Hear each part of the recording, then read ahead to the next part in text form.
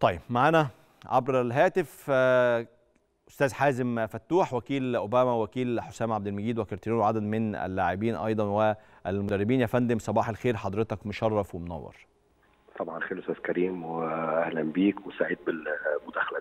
ده أنا أسعد بكل تأكيد. امبارح حسام لعب جزء من المباراة وتألق مثله مثل كل شباب الزمالك امبارح. وحسام تحديدا أنا كنت فرحان له عشان حسام كان له بعض المشاركات السابقة الطفيفة طبعا. وكان دايما يتحط تحت ضغط وانتقادات رغم إنه كان بيلعب في ظروف صعبة جدا. امبارح لعب في مباراة أصعب ربما وأدى بشكل كويس جدا في الوقت اللي لعب فيه. ده حقيقي يا فندم وحسام عبد المجيد لاعب عنده إمكانيات عالية ولاعب عنده موهبة وإن شاء الله بإذن الله في المستقبل هيكون ليه دور. ولسه طبعا أنا اتكلمت مع اللاعب بعد المباراة قلت له إحنا لسه في أول الطريق ولسه إحنا ما عملناش حاجة لسه الطريق طويل. آه، انك تاخد الفرصة دي شيء جميل بس المهمه أصبحت صعبة لأنك مطلوب منك تحافظ على الفرصة دي وفي ظل وجود كوكبة من النجوم في نادي الزمالك زي ما إحنا عارفين في نفس الخط فدي محتاجة من اللاعب مجهود كتير محتاجة انه يطور مستواه وإن شاء الله حسام آه، عنده الدافع وعنده الدوافع وعنده الامكانيات اللي تخليه إن شاء الله يطور مستواه في المستقبل ونشوف منه أكتر من اللي قدمه الفترة اللي فاتت طيب. الله. أنا السؤال اللي جاي لي لحضرتك ده ملوش علاقة بحسام عبد المجيد تحديدا بس أنت أكيد وكيل لعدد من اللاعبين ومنهم كثير من اللاعبين الشباب ليه ما فيش مجموعة عشان كنت لسه بسأل الدكتور أشرف صبحي في هذا الأمر وزير الشباب والرياضة. ليه ما فيش مجموعة من الشباب كده فجأة نلاقيهم موجودين في أوروبا؟ يعني ليه دايما بنستنى لما يتصعدوا؟ وخد بالك هو مش سواء يعني برضه هو معدي ال 20 سنة. ليه ما نلاقيش مثلا من 17 و18 سنة موجود في أوروبا؟ أكيد حضرتك جوه الشغلانة جوه التفاصيل ديت وده سؤال شاغلني بقالي كام يوم. هو فعلا حضرتك ال- المواهب أو اللاعبين الناشئين في الأعمار اللي هي المفروض 17 و 18 ده السن اللي هو بيكون مناسب لأن اللاعب يروح أوروبا. صح. إعدادهم قليلة. اللي اللي خدوا التجربة دي آه، ونجحوا فيها قليلين. بس في لعيبة كتير خدوا التجربة دي. يمكن ما سلطوش عليهم الاضواء لأن تجاربهم لم تكتمل. معايا فلكن هي فعلا الاعداد قليلة. وده كان يعني بيرجع برضه إن الأندية الأوروبية لما تيجي تنظر للاعب يعني أنا اتكلمت في الموضوع ده في مداخلة من سنة إن إحنا في القطاعات تحت نهتم بال- بال- بالبناء اللاعب كبنيه أيوه. جسدية والتغذية وفي أيوة. امور كتيرة جدا. صح. دي لازم تكون محطوطة في في في الخطط وفي البلان بتاع قطاعات الناشئين. لأن دي اللي بيبقى ليها دور رئيسي إنها بتكون لاعب.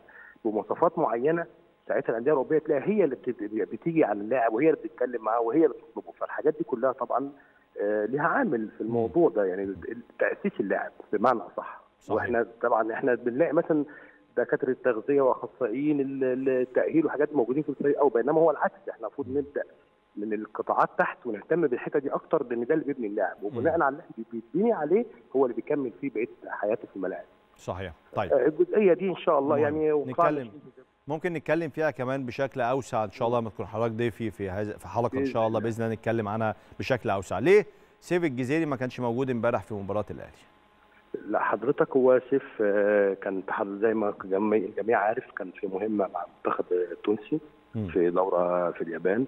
وطبعا سفره كان بالتنسيق ما بين إدارة المنتخب وإدارة الكورة في نادي الزمالك تواريخ الحجز سواء ذهابه أو عودته يعني معلن معلن بها إدارة الكوره في نادي الزمالك والمنتخب بلغ بها. فحصل بعد ما انتهت المشاركة بتاع اللاعب إدارة الزمالك رأت ان أو إدارة الكوره في نادي الزمالك رأت إن اللاعب محتاجين يجوا بدري شوية عن الميعاد المحدد ليه مسبقا. وكان ميعاده أصلا وصول يوم السبت آه. بالليل اللي هو آه، ليلة المباراة. فطلبت إدارة الزمالك آه، تواصلوا مع اللاعب وتواصلوا مع إدارة الكوره بالنادي بالنادي وبالفعل تواصلنا مع إدارة الاتحاد التونسي والناس كانوا متعاونين ومتجاوبين وتم تقديم موعد حضور اللاعب واللاعب حضر بالفعل وشارك في تمارين قبل المعسكر. والمدرب رؤية فنية لا أكثر ولا أقل شايف إنه ما اللاعب ما يشاركش في المباراة واللاعب تقبل ذلك وفي الحقيقة يعني كان آه، الأخ أمير مرتضى كان ليه دور وهو أصلا بدأت الأمور متحسنة تماما مع اللاعب وقعد مع اللاعب و... واتكلم معاه وأي سوء تفاهم أو في سوء فهم من اللاعب تم إزالته. وعلاقه جيدة جدا جدا.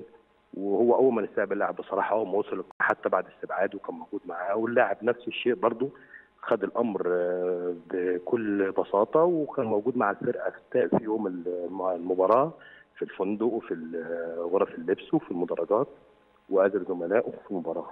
الأمر لا يعد قمنا أكتر من رؤية فنية لا أكتر ولا. بس حضرتك برضو قلت في نص كلامك إنه كان في سوء تفاهم سوء تفاهم في إيه؟ أنا بقول لك هو بصراحة امين مرتضى عمل دور كويس في في مع الفريق بيحتوي جميع اللاعبين. قريب جدا من أنا بقول لك ده تقييم عمل أنا لمسه مش مش أخبار أو معلومات ده شيء أنا عايشه يعني مع أكتر من لاعب وده كان له دور كبير جدا في يعني في ان بيلم بيلم الفرقة وقافل عليها بصراحة ومحتوي اللاعبين أي لاعب عنده مشكلة هو قريب منهم في الحقيقة منهم منهم سيف الجزيري هو سيف العلاقه من أحسن ما يكون طيب. الآن حاليا سيف واضح. انت أنت بتقولي سيف الجزيري كان المفروض هيرجع يوم السبت بالليل مظبوط كده؟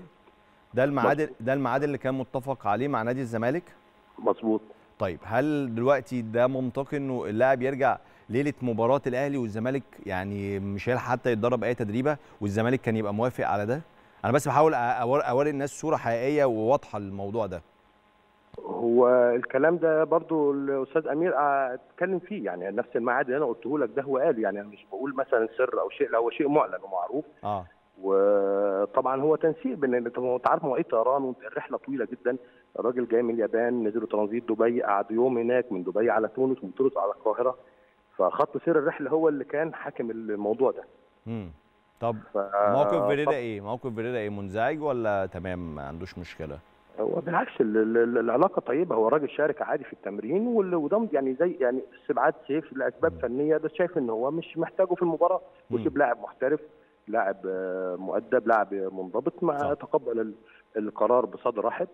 وبالعكس كان موجود مع زمايله من يوم المباراة الصبح لغاية ما المباراة انتهت سواء في الفندق سواء في أوض اللبس في المدرج وأنا بقول لك في علاقة جيدة دلوقتي وفي روح طيبة في الفريق والأخ امين مرتضى عامل شغل كويس مع اللاعبين ومع الفرقة مم. ولا- يعني وأزال كتير كتير من حاجات كتيرة هو بيبقى موجود قريب من اللعيبة وبيساهم فعلا إن بيخلي فيه استقرار وفي روح زي ما أنت شفتها امبارح في الملعب مم.